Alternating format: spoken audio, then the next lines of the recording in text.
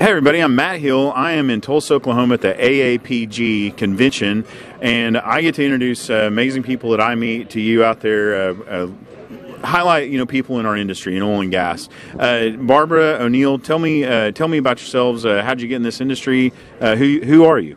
Well, I just said I'm Barbara Hill. I am from Oklahoma originally. related. Yes, and we're probably related somewhere down the line. And I got into this industry because I've always loved rocks. I was told I couldn't do this because I was a girl, and I went, no, I can do it. And I've done it. I went all the way through and got a bachelor's, a master's, and a PhD, and now I'm representing the world's largest oil services company and here in Tulsa.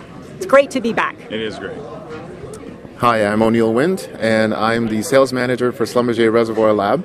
And I got into this industry, I would say, based on just interest. Yeah. I'm Canadian, and this is what was happening. Schlumberger is a, a big part of Canada, and that's why I went into this business.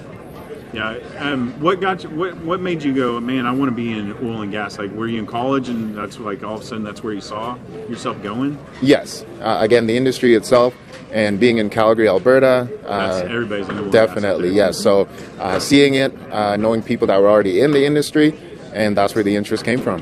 So, so Schlumberger, everybody knows Schlumberger. I hope you know out there. You know, worldwide oil and gas services company, technology, innovation, uh, equipment, people. So, what is Schlumberger's uh, Reservoir Laboratories?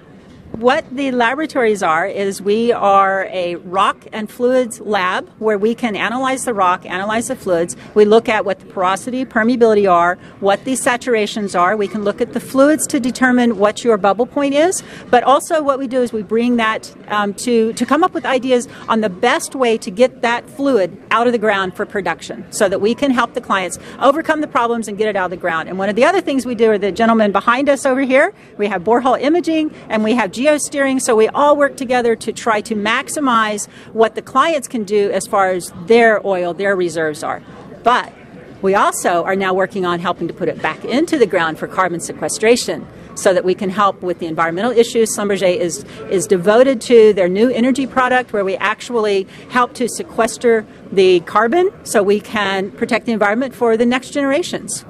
Wow. So, so they're leaders in the whole ESG, right? In movement. Absolutely, yeah. absolutely. And this is this is a global function that we have. We're doing this globally. A lot of research is going into it from our port. I mean, obviously, with every all the expertise we have in drilling and everything else, now we're putting that back into. Uh, they are donating, or not donating. They are what's the word I'm looking for? Driving. Driving the industry to try to get it right and get it done properly. Yeah, and, and by all means, our, our the people are investing in oil and gas, that's that's what the ESG is about. They they want to see us active in our own roles, and and honestly, I think we're the best at it. You know, we have the we have the technology, we have the brain power, and we have the the hearts to uh, protect our environment. Um, what are you seeing as far as technology that's interesting to you right now that you think that Schlumberger will, will probably be driving in the future?